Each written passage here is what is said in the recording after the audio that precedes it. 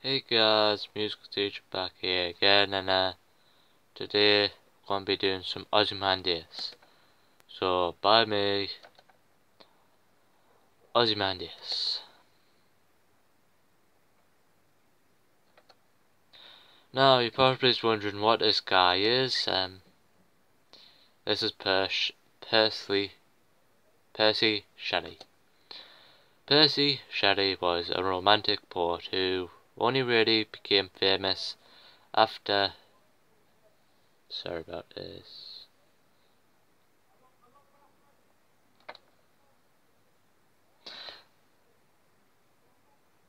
After his death, he wrote Ozymandias in 1817 after hearing about how an Italian explorer had retrieved a statue from the desert.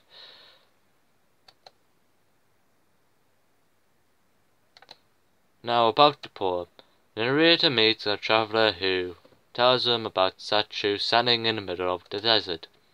It's a statue of a king who ruled a past civilization. His face is proud and he arrogantly boasts about how powerful he is an ins inscription of the statue's base. However, the statue has fallen down and crumbled away so that the ruin remains. Now there's some things which you must know. Form on the poem. The poem is sonnet with a turning point volta at line 9 like a Petrarchan sonnet. However, it does not follow a regular sonnet rhyme scheme, perhaps reflecting the way that human power and structures can be destroyed. It is iambic pentameter, but this is also often disrupted. Structure of the poem. Narrator builds up an image of the statue by focusing on different parts of it in the, of it in turn. The poem ends describing the more enormous power which helps sum up the insignificance of the statue. Irony in the poem. There's nothing left to show for for the ruler's arrogant and boasting of his great civilization. The ruined statue can be seen as a symbol of the temporary nature of political power or human achievements. Shelley's use of irony reflects his hatred of oppressions and his belief that it is possible to outturn as political order. Language of the poem language of power in the poem. The power focuses on the power of Ozymandias, rep representing human power.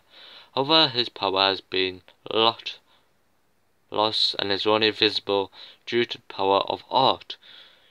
Ultimately, nature has ruined the statue, showing that nature and time have more power than anything else.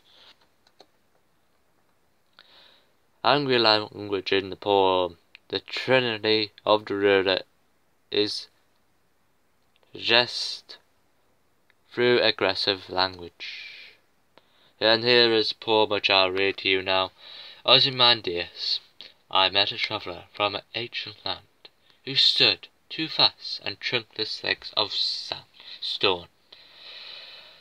Sand stand in the desert near them on the sand, half shrunk a shattered fidget lies who frown, and wrinkled lip, and a sneer of cold command, Tell that its sculpture, sculpture with those passions read, which yet survive, stamped on those lifeless things, the hand that mocked them, the heart that fed, and the ped pedestal those words appear.